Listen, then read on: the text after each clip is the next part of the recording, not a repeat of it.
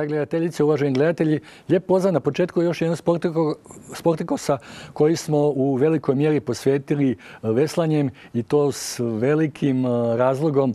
Zato u našem studiju sa zadovoljstvom pozdravljam dvojac iz Osječkog veslačkog kluba Iktus. S nama je gospodin predsjednik Boris Popadić. Dobro večer i dobrodošli. Dobro večer, lijep pozdrav vama i svim vašim gledateljima u ime predsjedništva trenera i veslača Veslačkog kluba Iktus i s nama je prva dama osječkog veslanja, hrvatskog veslanja, Mirna Rajle Brođanac, tajnica Veslačkog kluba Iktus Osijek, ali i bivša, možemo slovno reći, proslavljena hrvatska reprezentativka. Dobro večer i vama. Dobro večer. Prvo, čestitke i prednost ovog puta ipak predsjedniku, jer riječ je o e, tradicionalnoj 22. Miholjskoj regati, ali i velikim jubilejima e, Osječkog veslačkog kluba Iktus, ali i općenito Osječkog organiziranog veslanja. O čemu se radi gospodine Popadić? Najljepša vam hvala prije svega na, na lijepim čestitkama. U vikendu iza nas e, održana je Miholjska regata i kao poslastica na kraju Iktus Challenge. E, ono što posebno raduje je velik broj preko stotinu veslača, mladih veslača koji su na Miholjskoj regati svoje znanje i vještine prikazali svojim sugrađanima, roditeljima i prijateljima i time promovirali dodatno e, veslački sport u gradu Osijeku. E, uz to Fair Play, Fair Play projekt Veslaonicu i sto veslača koji je kao nekakva kruna dvogodišnje, dvogodišnje e, izvedbe, ali i, i, i e, onda na koncu dočekali zajedno svjetsku veslačku kremu e, na Ictus Challenge. Veliki jubilej 130 godina organiziranog veslanja u gradu na Dravi i na Dravi i 50 godina veslačkog kluba Ictus. Tako je jedna, tako je jedna zaista pre, prelijepe, prelijepe obljetnice. Mislim da se rijetko koji klub može time podičiti. Ovaj sportski dio smo na najljepši mogući način evo obilježili. 130 godina organiziranog veslanja i 50 godina imena Iktus. E, Mirna, kako je bilo ponovo u ovom izabranom veslačkom društvu, do duše e, samo muškom. E, vi ste službeno proglašeno najboljom hrvatskom veslačicom 20. stoljeća, a ja mogu reći slobodno i do sada uopće u samostalnosti Hrvatske. Koliko vaših godina života, rada, treninga je utkano u ovih pola stoljeća veslačkog kluba Iktus? Ne smijem reći jer bi da je odala sve svoje godine, ali e, stvarno duga, duga e, prvo veslačka karijera e, u Iktusu, a nakon toga evo ostala sam u sportu, u konačnici radim u sportskoj logistici i sada dvije godine sam i u upravljačkim strukturama Iktusa. E, nekih 21 godinu aktivnog bavljenja e, sportom, odnosno veslačkim sportom. Puno rezultata dobrih, odličnih i evo e, sad sam nekako u poziciji da ovu logističku, logistička saznanja i znanja evo pružim i dam i to su na zadovoljstvo. Ja se nadam evo i predsjedništva i u konačnici naše djece i roditelja i Osijeka općenito. E, bili ste zapravo u najmanje trostrukoj ulozi, a to je e, tajnica Veslačkog kluba Iktus Osijek, e, bivša uspješna, najuspješnija veslačica, a i predstavnica jednog od suorganizatora, tako da kažemo, zajednice športova Osječko-Baranjske županije. Da, evo, e, dosta uloga u jednoj osobi, ali e, normalno je da je to tako. Znači, kažem, e, radim u sportskim strukturama, radim s ljudima koji organiziraju manifestacije. Između ostalog i ovu Miholjsku regatu smo organizirali pod onim poznatim sloganom To mi je u prirodi, u kojoj spadaju Febire i Barenski Ferivi polumaraton. I u konačnici za dva mjeseca ćemo organizirati i humanitarnu osjek, utrku Osijek Osijek trči u suradnji sa Igorom Delačem. Znači, nekako je normalno da sam na toj poziciji bila u, više uloga, ali e, mislim da je to na neki način dobro, jer ta znanja koja stičemo kroz organizaciju manifestacije samo može doprinijeti kvaliteti e, izvedbe same organizacije pojedine manifestacije. Gospodine Popadić, evo, e, na promenadi, na Dravi, sjajna e, atmosfera, ozračje, puno posjetitelja, prolaznika, šetača, ali zaljubljenika u ovaj prekrasni sport. E, vrijeme vas je poslužilo. 22. izdanje Miholjske regate, e, simboličan završetak ili zaokruživanje jedne cijele vesačke sezone Iktusa i vaših sportskih prijatelja iz Hrvatske i susjednih zemalja. Prvo u tom prvom dijelu, znači natjecateljski, koliko je bilo tih utrka, uglavnom mladih posada, mladih čamaca, odakle su stigli sve vaši gosti i kako je prošao taj prvi dio tog bogatog cijelodnevnog veslačkog programa? Naši najmlađi veslači su bili iz devet klubova e, širom Hrvatske i prijatelji iz Srbije i Slovenije.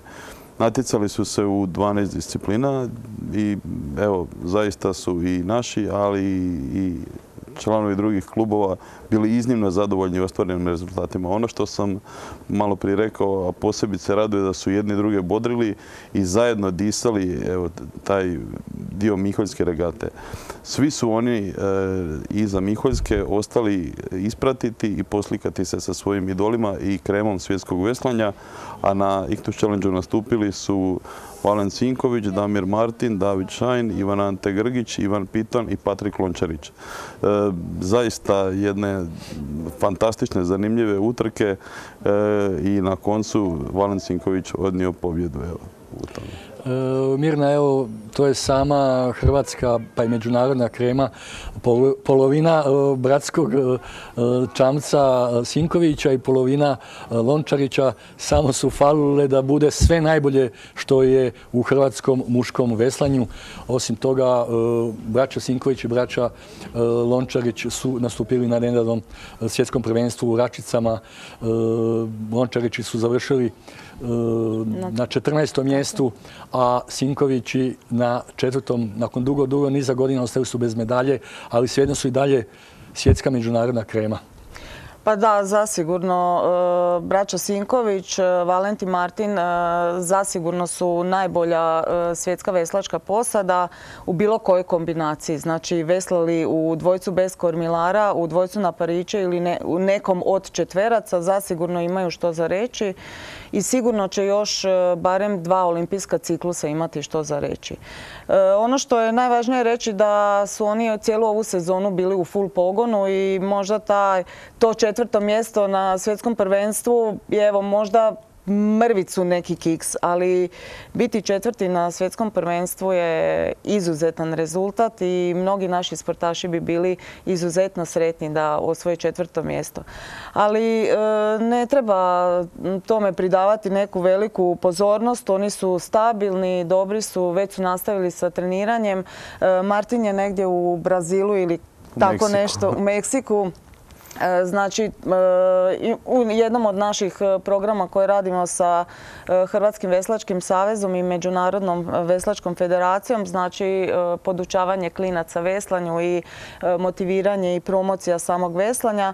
A evo, Valent je bio, imao priliku doći i družiti se s nama.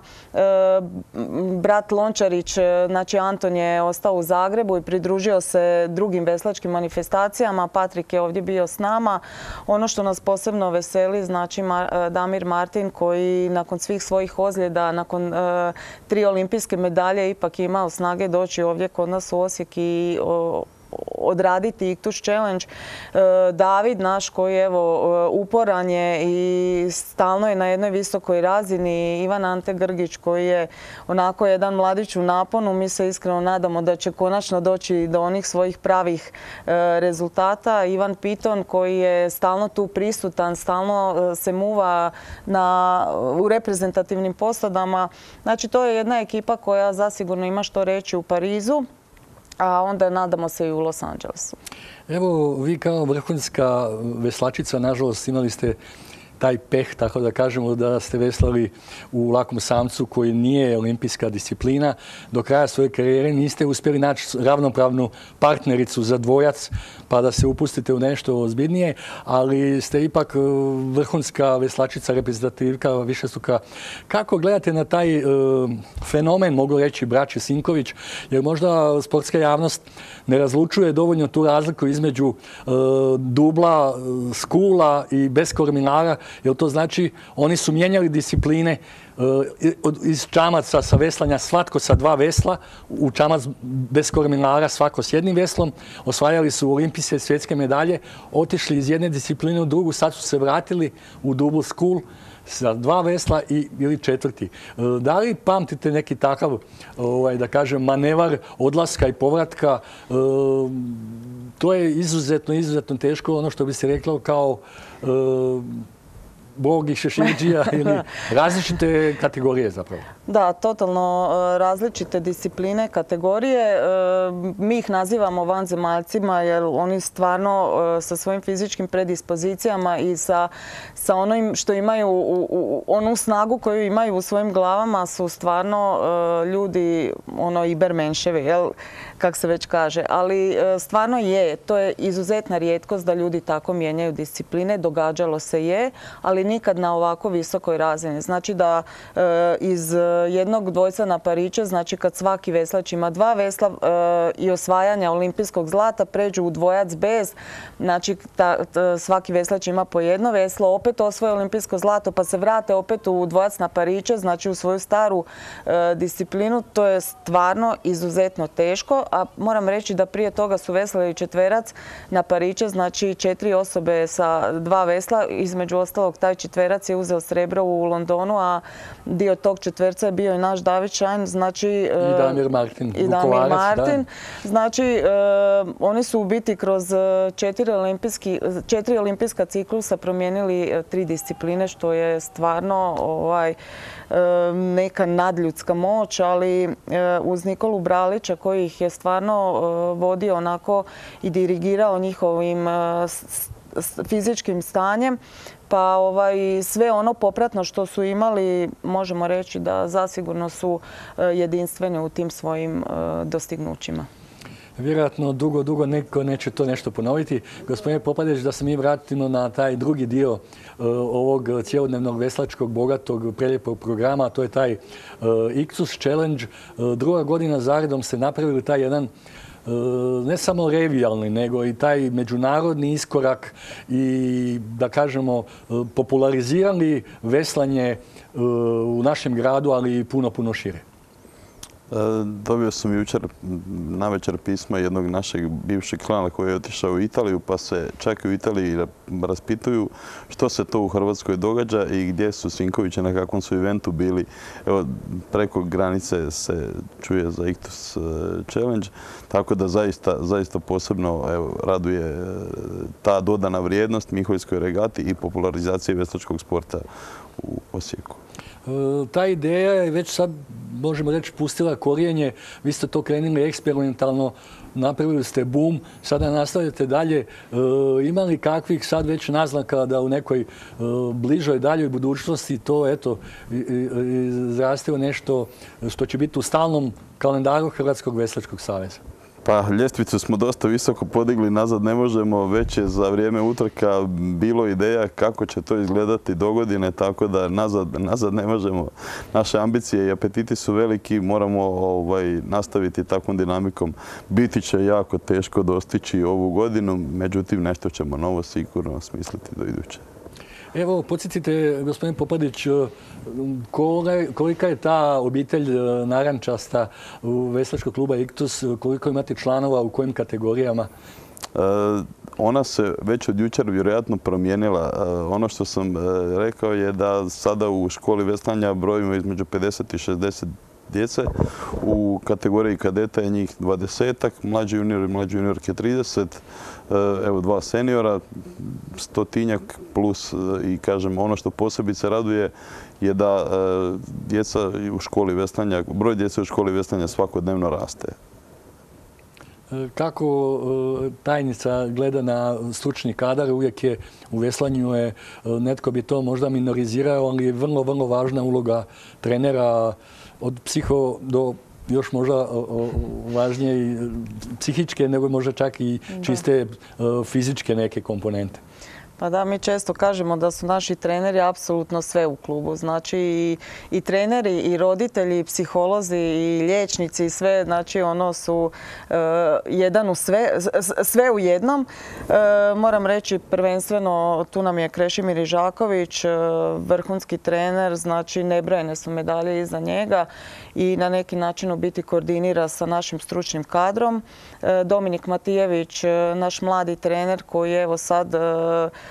stasa u jednog kvalitetnog trenera i ove godine po prvi puta ostvario onako jedan e, vrhunski rezultat sa svojom ekipom mlađih juniora i mlađih juniorki je ekipno e, osvojio državno prvenstvo.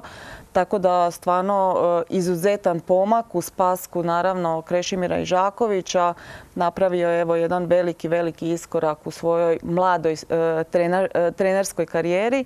Naša standardna Jasminka Kraljević-Čolić koja evo pokrenula je tu školu veslanja ponovo, e, znači je proširila, radi na projektu Veslaonice i obilazi škole grada Osijeka i Osječkog prstena, aktivira klince, motivira ih i stvarno evo već i ona sama je napravila i osjeti taj pomak koji svakim danom napreduje i svakim danom radi sve bolje. I imamo jednu mladu trenericu koja nam se pridružila evo sad e, po završetku e, ove veslačke sezone i ulazi s nama u novu sezonu, znači Mirna Gujčić iz e, Draža. I evo, znači na neki način lagano se pripremamo za ono što nas čeka već krajem ove godine, znači daljinska regata u Zagrebu, još jedne neke revijalne pripremice, revijalni nastupi, znači na, u Đakovu, Novi Sad i eventualno nešto e, Vukovara.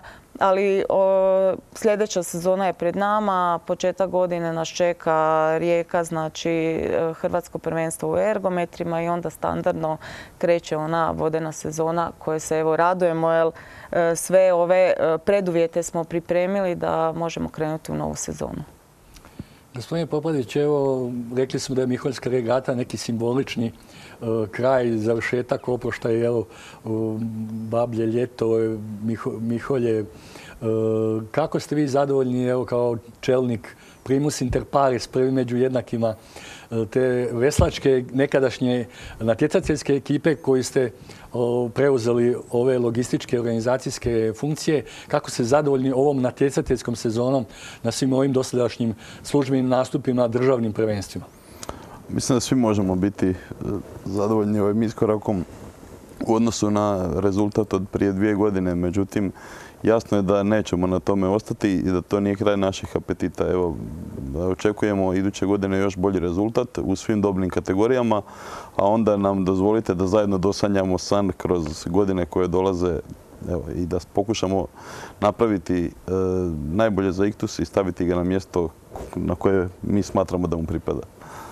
E, Mirna, recite, e, Veslanje uglavnom se Hrvatsko veže uz e, muški dio ekipe reprezentacije koji su naučili na trofeje, na olimpijske svjetske medalje, ali su se ponovo pojavile na našoj sceni konačno i dvije također sestre koje su nastupile na svjetskom prvenstvu u Račicama. Da, sestra Jurković, e, evo, mene posebno raduje. Znači, nakon e, naše Sonje i Maje, koje su e, harale evropskom scenom u dvojcu bez kormilara, pojavile su se sestre Jurković i na neki način nastavile njihov niz. Odlični rezultati napreduju iz godine u godinu i iskreno se nadam da će iduće godine kad je kad su kvalifikacije za olimpijske igre imati što reći. Sad su već bile e, u toj nekoj e, kvoti e, olimpijske norme, pa evo ja se nadam da će iduće godine kada je, kažem, ta kvalifikacijska regata uspjeti znači probiti taj led da Hrvatska konačno ima i žensku, ženske olimpijske predstavnice na olimpijskim igrama. Evo, to je neki moj nedosanjani san i nadam se da će djevojke vrlo brzo dosanjati taj moj san. Evo. da će ugrabiti priliku i vidjeti olimpijske igre. Predsjedniče, moramo i zadnji puta kada smo pričali, moramo se dotaknuti osnovnih uvjeta e, takozvani mali sport, ali velikih e, rezultata, velikih e, veslača i veslačica. Kako ste zadovoljni vi i dosadašnjim vašim predsjedničkim mandatom i vaše ekipe? Uz vas je također još jedan bivši vrhunski hrvatski reprezentativac Ivan Jukić i ostala veslačka ekipa. Kako ste zadovoljni dosadašnjim svojim mandatom i uvjetima veslačkog kluba Iktus, odnosno njegovih članova i članica? Mogu reći da smo zadovoljni, cijelo predsjedništvo jednako radi. Pa mogli bismo povući paralelu isporediti ga ponekad i sa bračnom zajednicom. Mi se nekad znamo i imati različita mišljenja, međutim u konačnici to donese jedan dobar i kvalitetan rezultat, evo kao što, se vidi. E, ovaj zimski dio ergometara i bicikala, trenaž, teretane smo opremili, pripremili. E, kupili smo jedan novi čamac, sada ćemo obnavljati vesla i svakako ćemo osigurati našim veslačima sve potrebne rekvizite i opremu da ostvare ciljeve koje planiramo ostvariti. Koliko otprilike imate čamaca koji su, da kažemo, ono upotrebljivi baš za, u natjecateljskom smislu, ne samo u trenažnom. I tu su razlike, uh, neki lajk bi to pomiješao, čamac i čamac, ali uh, razlike su drastične u izvedbi i naravno i u dobi tih, tih plovila. Pa stariji nam je plovni park, tako je. Od novih čamaca možemo reći da ih imamo oko desetak koji su pravi regatni čamci. Ovo ostalo je dostatno za mlađe kategorije. Svakako u vremenu koje dolazi morat ćemo razmišljati o obnavljanju plovnog parka. Ali evo za sada se pokrivamo i dostatno je to za, ovo što sada ostvarujemo. Međutim, apsolutno jedna tema o kojoj ćemo morati razmišljati u vremenu koje dolazi.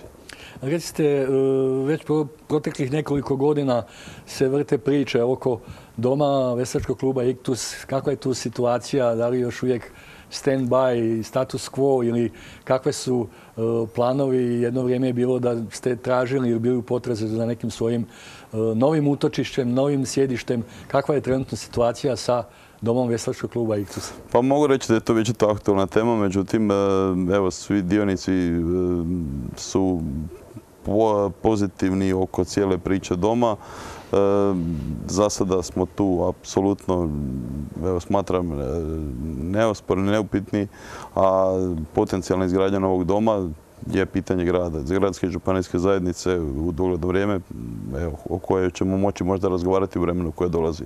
Za sada smo na dobro poznatoj adresi.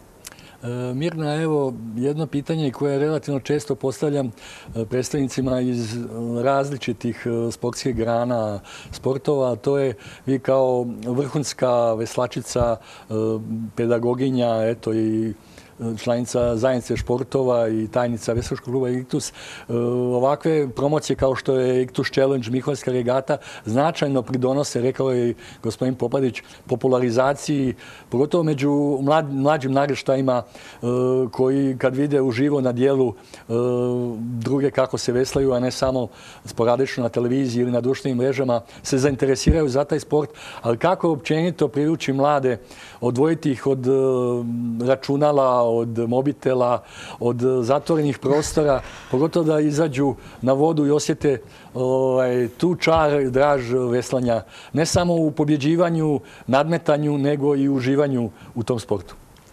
Pa evo, e, godinama je to problem, mislim ne samo iktusa, nego općenito sporta. E, baš evo imamo te neke naše male projekte koje nam puno znače. Prošle godine smo radili na, e, projektu 100 veslača, ove godine smo ga nadogradili sa veslaonicom i baš ta suradnja sa školama, kao što sam rekla, grada Osijeka i Osječkog prstenja nam doprinosi toj popularizaciji veslanja. Imamo ovaj e, jedan zgodan slogan odmori plejku i e, zajaši rijeku. Tako da evo, znači koristimo sve te neke moguće e, afirmativne poruke koju, nastojimo usaditi djeci. A Miholska regata i Ictus Challenge zasigurno su ono nešto što je dodatno na toj našoj promociji. Rekla sam da gospođa Jasmeka Kraljević-Čolić dosta aktivno i jako kvalitetno radi sa klincima i tu imamo jako dobru podršku roditelja koji se odazivaju svim našim akcijama pa smo na neki način prepoznati u Ministarstvu turizma i sporta kao e, jedan klub koji radi e, dobro i kvalitetno što na kraju u konačnici rezultira e, sa nekim financijskim sredstvima. Dobro surađujemo sa Hrvatskim olimpijskim odborom, radimo na projektu Fair Playa. Znači dosta tih aktivnosti u koje smo se uključili zasigurno doprinose našoj promociji, ali i vidljivosti Iktusa. Evo, gospodine Popadić, za kraj večerašnjeg druženja i veslačkih e, tema, kakvi su evo daljnji planovi? E, Mirna je spomenula što, će se revijalno raditi do kraja ove godine koji nastupi, ali e, planovi za sljedeću ili za sljedeća razdoblja sljedeće godine veslačkog kluba Iktus iz Osijeka?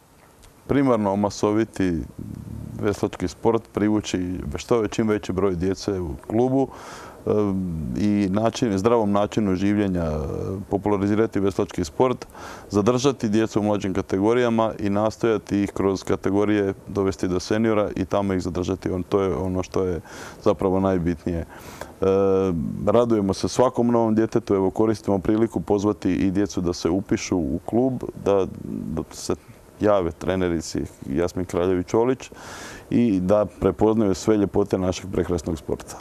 E, kako vi organizacijski uspijevate zatvoriti tu konstrukciju, uvijek je to nekako, e, bez obzira, vi ste u skromnim okvirima, skromnih zahtjeva, profesionalnih odnosa od vas do, do, do svih u klubu, ali kako idete sa tom uvijek nesretnom, nespretnom, a neizbježnom financijskom konstrukcijom? Pa evo, dobro da ste pitali, e, uz veliku pomoć gradske, grada i županije, e,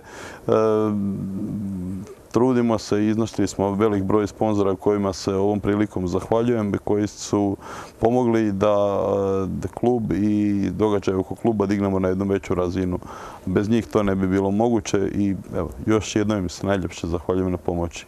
Sve više sponzora koji prepoznaju vrijednosti i dobru pozitivnu klimu oko kluba i koji se uključuju u financiranje istoga.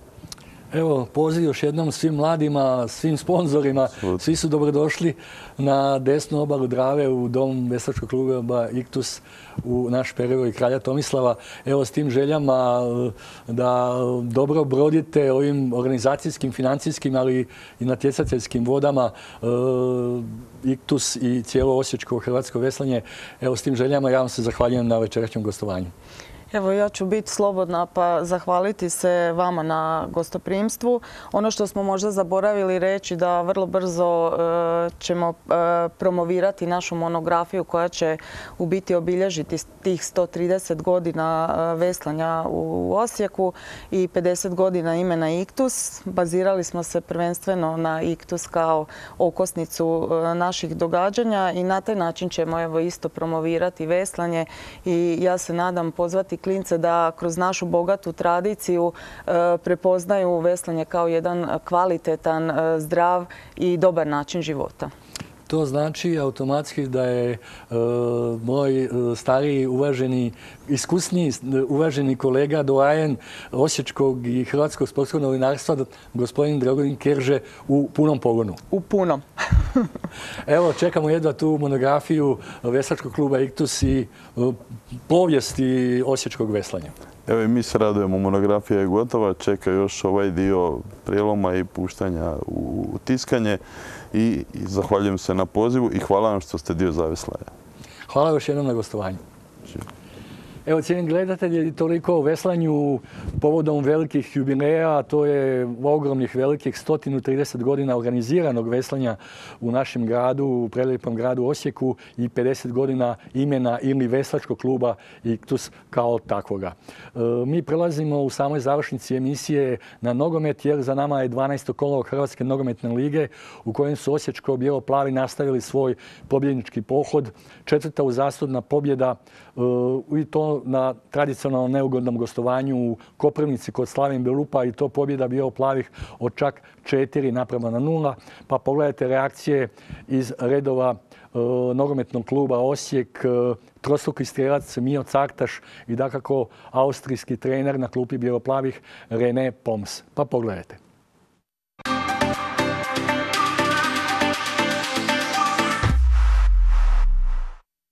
Četvrtu uzastopnu prvenstvenu pobjedu izborili su nogometaši Osijeka u 12. kolu HNL-a na tradicionalno neugodnom gostovanju kod Slavin Belupa u Koprivnici i to rezultatski vrlo uvjerljivo sa 4 naprema 0.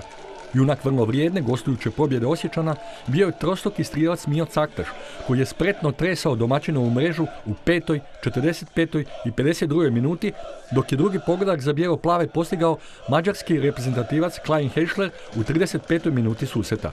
Osjećani su u Koprivnici kažnjavali gotovo svaku pogrešku vratara i uže obrane Slavin Belupa, te potom rutinski susret privjerni pobjedničkom kraju, dok su domaćini u drugom poluvremenu propustili nekoliko stopostotnih prigoda za oblažiti poraz. 4-0, uh, good result for us, of course, but but we scored the goal in the good moment. But the match generally, especially second half, again, I was not so satisfied. A lot of things what we have to do better, but that's good. Uh, we have to work hard. We have to take the daily work, and that is what is important. Yeah, we are we are in the good uh, flow now. We have to use this and to keep this work hard for that. Of course, the the players work very hard for this success, but but also today we must do it much better in a lot of situations, and that we will work on next week. Yeah, we, we try our best. Of course, we want uh, we want to have supporters in the stadium. I think the player deserve it that the, the people come to see them. Yeah, Mio is in, in, in good shape now. He have good performance. He is very dangerous in front of the goal. He know where is the goal, and of course he he played good. Uh, and he is important now for the team. Nismo im dali stvarno puno šanti da, da, da nešto onaj, oni nabiju, mi smo iskoristili svoje šanse i mislim da smo danas odigrali jednu jako dobru utakmicu i eto, najbitnije da smo pobjedili, da, smo, da idemo doma na tri boda. Puno znači vodstvo u onim ranim minutama. Vidjeli smo protiv e, Lokomotive u prošlom kolu, danas gol u petoj minuti, onda je i psihički lakše nastaviti dalje.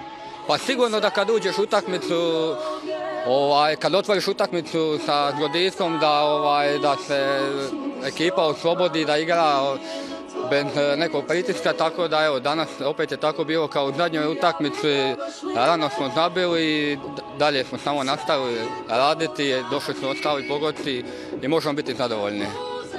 Eto još jedna poveznica s utakmicom iz prošloga kola. Opet smo imali tri gola prednosti nakon prvih 45 minuta. Pa najbitnije je da stvaramo šanse. Kad stvaramo šanse doće i golovi, tako da evo, ovaj, u zadnjih par utakmica stvarno e, smo nabili dosta golova i zadovoljni smo i ništa. Evo, okrećemo se sljedećim utakmicama i to je to. E sad se moramo dotaknuti i tvog golgeterskog učinka, lisica, prava zmija u kazanom prostoru u pravo vrijeme na pravo mjesto u tri navrata. Pa svakako, evo, kao što ste rekli, dugo već igram HNL, iskusan sam i ovaj, idu me golovi, evo i tako je danas bilo i naravno da sam sretan zbog toga, a najviše sam sretan zbog toga što smo pobjedili utakmicu i, ovaj, i ništa, idemo dalje, nadovoljni smo i to je to. U krugu si onih najučinkovitijih igrača u HNL-u i to je jedno zadovoljstvo i jedna čast u svakom slučaju. Pa sigurno da je lijepo vidjeti e, među takvim imenima, ali kao što sam dosta puta ponavljao, ne zamaram se ti nekim brojkama i eto to samo od tebe tako dolazi i, i to je to. Bijelo-plavi su se novom pobjedom učvrstili na trećem mjestu na ljestvici HNL-a sa 21 bodom. Prvi je Zagrebački Dinamo sa 31, a drugi Splitski Hajduk s 23 boda, a oba kluba imaju po susret manje. Pozdrav gledaocima Osječke televizije. Gledajte nas, mi smo najvjerodostojniji. Gledajte Sportikos Osječke televizije. Ljudi, gledajte Sportikos Osječke televizije. Pozdrav gledateljima Osječke televizije. Pozdrav gledateljima Osječke televizije. Pozdrav gledateljima Osječke televizije. Pozdrav gledateljima Osječke televizije. Od srca.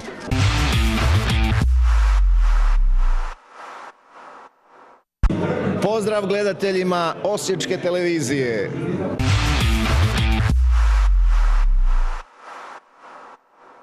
Poštovani gledatelji Osječke televizije, evo čuli ste reakcije trenera Osijeka Renea Pomsa te trostukog stjelca u Koprivnici za pobjedu 4 napravno 0 bijelo-plavih Miju Caktaša. Ja bih zamolio kolege iz režije da pogledamo i stanje na ljestvici HNL-a e, nakon 12. kola. Kao što je već bilo rečeno, Zagrebački Dinamo je uvjerljivo vodeći ostao je na prvom mjestu sa 31 bodom, iako je odgodio svoj susret e, protiv Pulske Istre zbog svojih obaveza u skupini Lige prvaka pred uzvratni susret sa austrijskim Salzburgom. E, drugi je Splitski Hajduk koji je u dramatičnoj završnici u sudačkoj nadoknadi u 9. minuti sudačke nadoknade, znači ukupno 99. minuti e, pobjedio s 2 naprema 1, postigao drugi pogodak Hajduk i pobjedio e, Varaždin. Hajduk je drugi sa 23 boda i također susreto manje. To je susret protiv Gorice koji je također bio odgođen. Treći je Osijek sa 21 bodom. Četvrti je ostao Slaven Belupo sa 17 bodova. Peti je Varažin sa 16 bodova. Šesta Pulska Istra sa 13 bodova i tim susretom manje protiv Dinama koji će biti odigran naknadno. Sedmi je Šibenik sa 12 bodova. Osma Zagrebačka lokomotiva sa 10 i zatim slijedi e, Rijeka e, koja je u derbiju začelja bila bolja od Gorice. Rijeka sa 9 bodova i deseta na dnu je Gorica sa šest bodova i jednim susetom manje. Evo, cijenim gledatelji, vidjeli smo to, slijedi e, zanimljivi nastavak Hrvatske nogometne lige u kojem će Bjeloplavi pokušati nastaviti ovaj uspješni bodovni niz. Peta pobjeda u zadnjih šest kola, četiri pobjede u zadnja četiri kola, četiri kola maksimalnih 12 e, bodova. E, držimo palčeve bijelo-plavima da nastave u takvom pobjedničkom ritmu. Evo, a mi smo s nogometom i HNL-om došli do kraja večerašnje emisije. Ja se zato zahvaljujem za vašu pozornost i zakazujem novo sportsko druženje, novi sportski susret u isto vrijeme na istom sportskom terenu, a to znači da budete s nama i sljedeći tjedan u novom izdanju Sportikosa. E, hvala za vašu pozornost, do tada doviđenja i svakako ostanite uz program Osječke televizije.